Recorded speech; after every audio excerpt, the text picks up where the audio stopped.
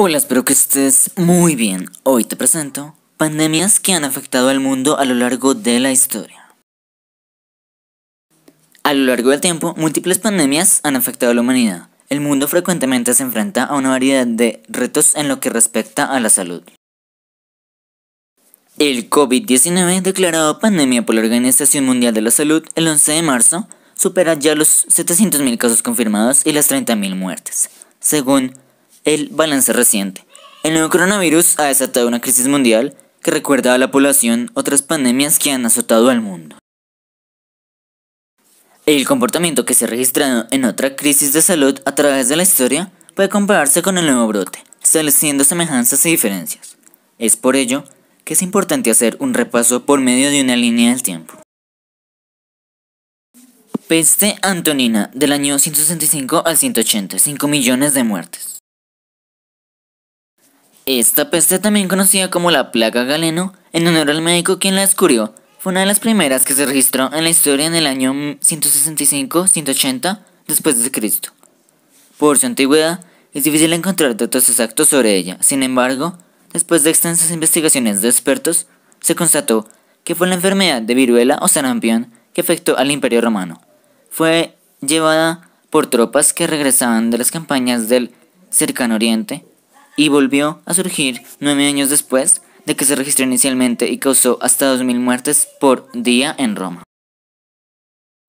Las estimaciones actuales ascienden a 5 millones de muertos, lo que significaría un tercio de la población en algunas zonas.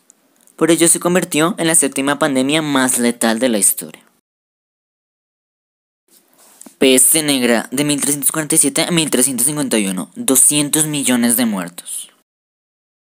Esta pandemia, calificada como el peor desastre biológico de la historia de la humanidad, logró afectar entre 1347 y 1351 a Europa y Asia a gran velocidad, debido a que el agente infeccioso estaba alojado en las pulgas de las ratas negras y se esparció por todo el continente usando como medio de transporte a los barcos mercantes.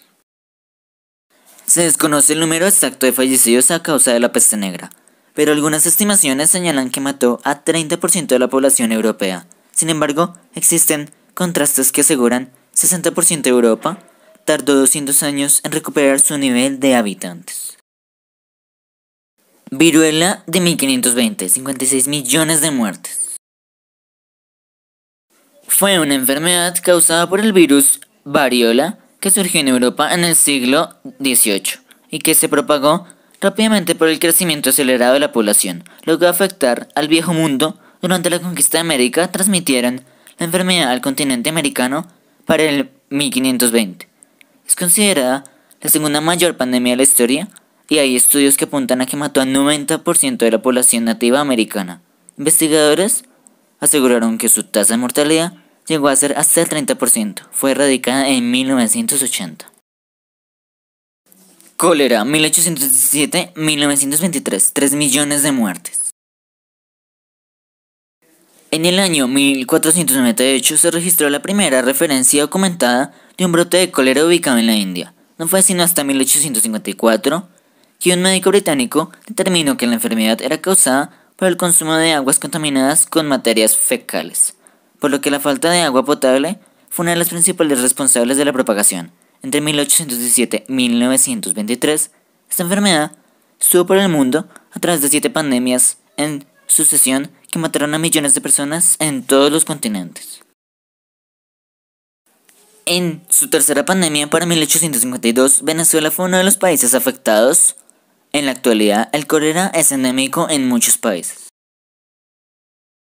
Fiebre amarilla a finales del siglo XIX, 150.000 muertes. Se considera que su origen se registró por una especie de mosquito de África, el cual fue llevado al continente americano por barcos de comercio de esclavos. Según los científicos, su letalidad era del 50%. La primera pandemia confirmada en América fue en Barbados en 1967. La última registrada fue en 2006 en Angola. Venezuela fue uno de los países con mayor riesgo de contraer la enfermedad y registrar gran cantidad de fallecidos. Gripe española de 1918-1919, 50 millones de muertes. Fue la primera vez que se presentaba un virus de gripe conocido como H1N1. Esta vendría siendo la tercera pandemia más letal de la historia que se originó en Estados Unidos. Se estima que afectó alrededor de 500 millones de personas en todo el mundo, alrededor del 27% de la población global. Estimaron que la gripe española tendría un 20% de mortalidad. Esta enfermedad llevó por nombre gripe española porque este fue el país que informó en su totalidad de todos los afectados, ya que no estaba involucrada en la guerra y por tanto no se censuró la información sobre la enfermedad. Sin embargo, aseguran que Estados Unidos y Alemania tenían mayor número de fallecidos. VIH o SIDA, de 1981 a la actualidad, 39 millones de muertes. El SIDA es causado por un virus de inmunodeficiencia humana que se originó en primates del África Central y Occidental a principios del siglo XX. La pandemia tuvo sus orígenes a partir de 1981 en República Democrática del Congo. Según estudios realizados por la Organización Mundial de la Salud, actualmente hay alrededor de 37 millones de personas que están infectados con VIH en todo el mundo. Para el 2018 murieron 760 mil personas por la enfermedad. Gripe porcina de 2009 a 2010, 200.000 muertes. El brote apareció en cerdos de una región del centro de México y a partir de allí se propagó por el resto del mundo. Es importante acortar que la enfermedad se produjo por la combinación de virus de las gripes aviar, porcina y humana. Se estima que entre 11 y 21% de la población mundial contrajo la enfermedad. Ébola 2014-2016, 11.000 muertes.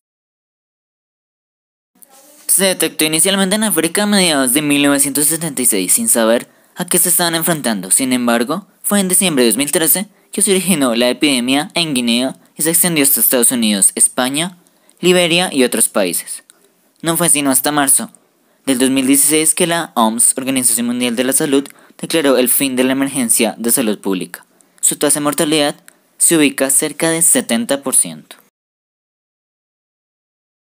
Bueno, lo extraño de todo esto es que precisamente cada epidemia, o bueno, las epidemias pasan cada 100 años. Qué increíble, ¿no? Una gran coincidencia que todas las epidemias pasen cada cierto tiempo. Dime, ¿tú qué opinas de esto? Si el video ha sido útil para ti, dale un buen me gusta, suscríbete a los demás del club y compártelo. Nos vemos en el próximo video. Gracias.